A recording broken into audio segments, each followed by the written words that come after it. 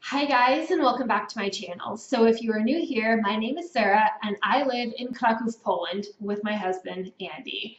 So Andy hasn't been on my channel in a while and we thought it'd be a lot of fun to sit down and kind of give you guys an update. Not about us per se, but about our pug.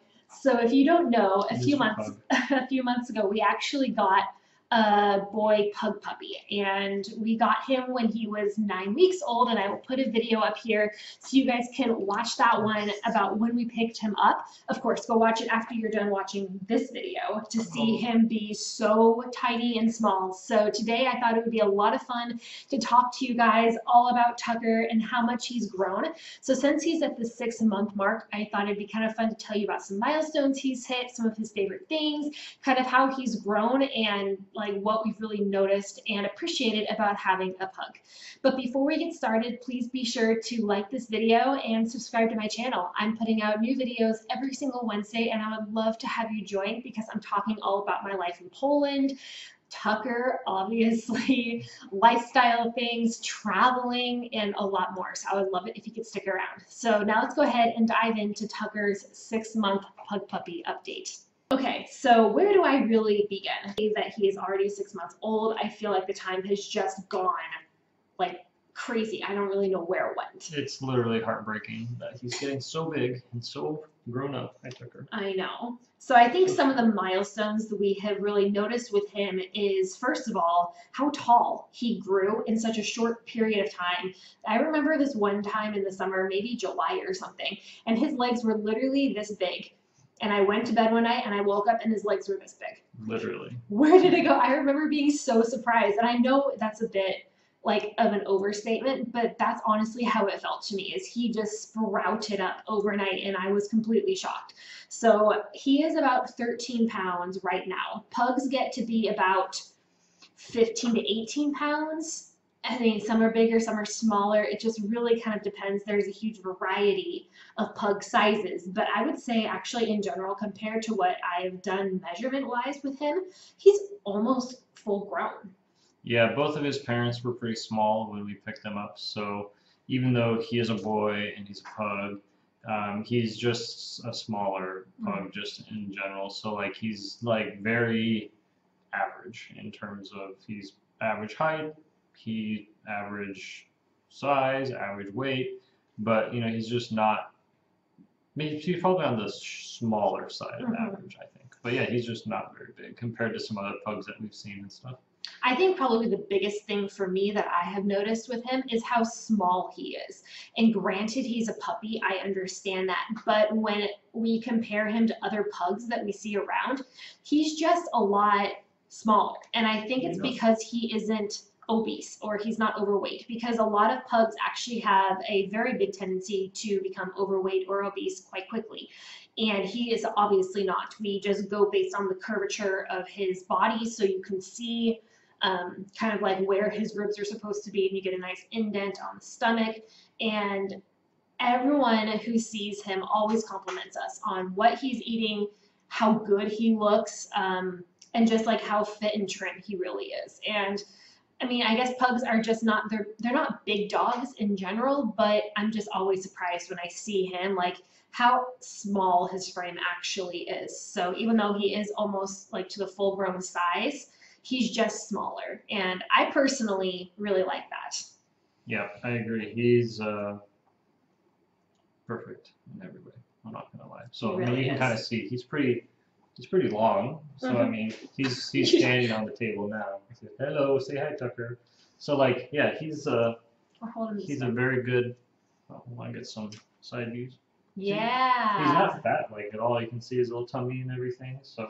And the rolls are supposed to be there. Pugs are very rolly naturally. Mm-hmm. So. Yeah. So like on his scruff, you can see like he has some skin, but. It's not like fat. Yeah, so that's how it's supposed to be. When we're talking about sizes with Tucker, I wanted to show you guys. So we actually had to upgrade his harness situation because I found these harnesses at a pet store here in town right before we got him. And I fell in love because guys, this color is everything. So this is actually the first harness that we picked up for him. This is the exact size that he was when we picked him up. So I don't know if you can tell, but it's really small you can like unbutton it. So like it's really Yeah. just such a tiny little harness. And this is exactly what it was almost too big for him when we brought him home.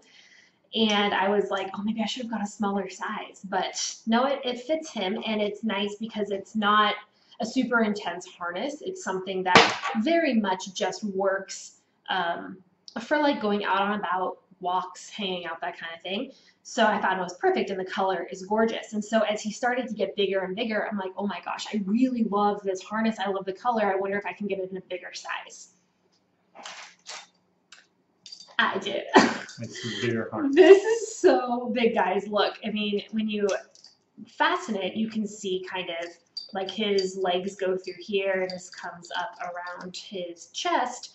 And I mean, you can just see the size difference, Yeah. right, on the harnesses.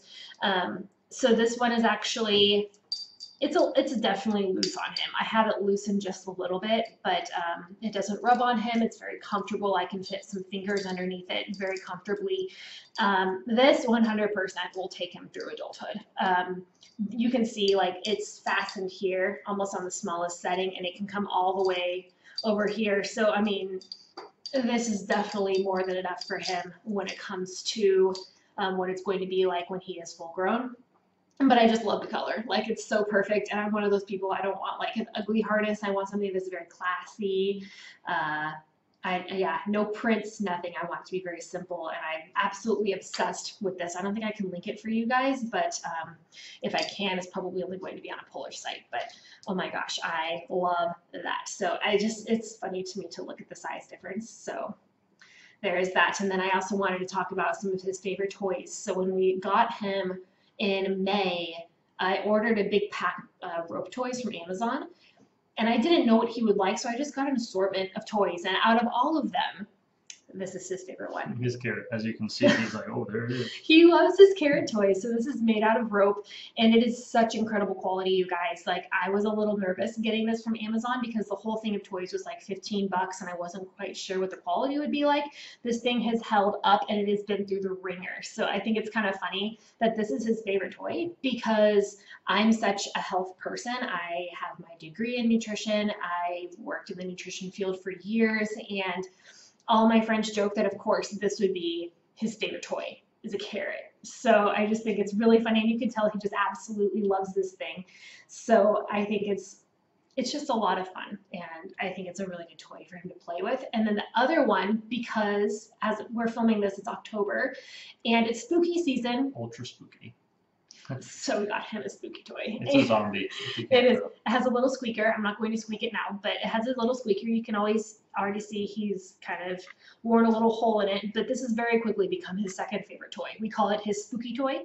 So we tell him, Tucker, come get your spooky toy, and he just gets, he's, you want your spooky toy? Want your toy? Do you like your spooky toy? Yeah, here's your spooky toy. So he definitely alternates back and forth between the carrot and the spooky toy. But these are kind of like his favorite toys, and he obviously had this since he was a puppy. I mean, like tiny puppy. But it wasn't until just recently that he actually was big enough to chew on this because before his mouth was so tiny that it he had a hard time like really getting a good grip on the carrot toy. So now that he's a much bigger little man, he can actually grip this thing. In case you're trying to find a pug, you should definitely consider your work-life balance in the sense that they're extremely emotional and they're very needy creatures. So like if you get one and expect it to be at home by itself for eight hours, nine hours a day, don't get a pug because it'll literally get a broken heart. Mhm. They are bred for compa- companionship and they love people and they love their humans and they need to be around humans. So like as you can see, he's totally chill, just sitting in my arms, and he'll sit like this for pretty much as long as you know he wants, obviously. But we've gone out to dinner and stuff Mhm. and sit outside, and he sat in my lap for like three hours, just totally fine, just like this. So But he can be a bit too needy yes, To the po- too needy. to the point where you actually have to train him that you do not need to be around me all the time. So the Okay. biggest thing that we've been working on this past month is actually having him sleep on the floor. He was a pain to sleep with. Like for like the first few weeks we had him, we were maybe getting two hours of sleep a night. The worst. It was awful. And he just cries because he can't be with us. So we did everything we could possibly think of without having him on our bed. And then we finally caved, and he's been sleeping with us for the past few months. And I really want to break that habit because as we start to travel more and we go do more things, and he can't come with us, he needs to be able to go to someone's house and sleep on the floor and be okay. Because I don't want to have to ask someone to have him sleep on their bed if like I, he just needs to sleep on the floor. He's a dog. So um, we've been sleep training for the past few weeks and he's doing better than expected. He is definitely still not perfect. Last night he cried for so long that we just had to cave. Um, but like, you know, usually what like three or four nights out of the week he actually does sleep on his own for quite a bit, and that's really nice. So we are slowly working toward that, um, but it is still a process. And I think probably the other thing is potty training is still. We're still working on that. He's, I would say, maybe what, 70%? Yeah, probably. he is a lot better about holding himself or holding everything for you know three or four hours and then holding it usually all night long.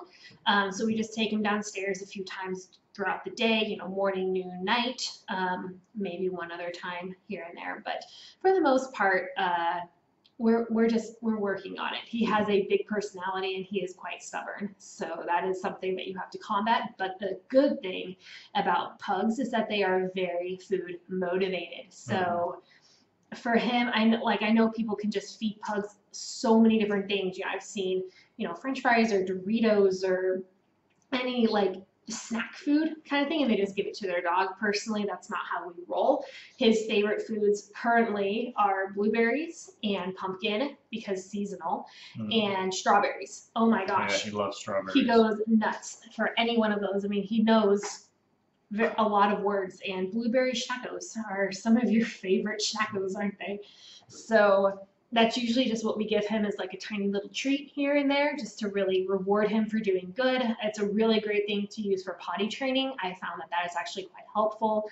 Um, and it's also been really good because, like, if we go run errands or something, we just leave him at home and we are training him to just go sit on his bed whenever we are away and we can just do that with snacks and it actually works really well so Mhm. yeah i think that's kind of all i have to say about his little update tucker do you have anything that you want to tell the people You have anything to say to the Anything? camera? Anything? No? Other than that he's No? just so Okay. sweet and so cute Yeah, if you are questioning whether you should get a pug and you have the ability to care for a needy creature, you Mhm. definitely should because they're perfect and beautiful and amazing.